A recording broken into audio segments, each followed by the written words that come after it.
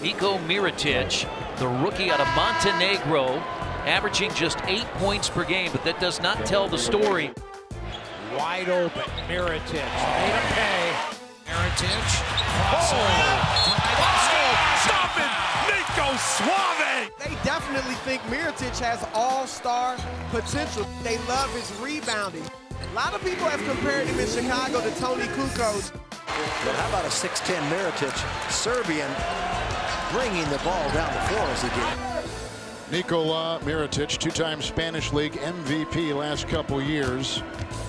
I told you the story about grandfather saying give up soccer and go play some basketball. He did.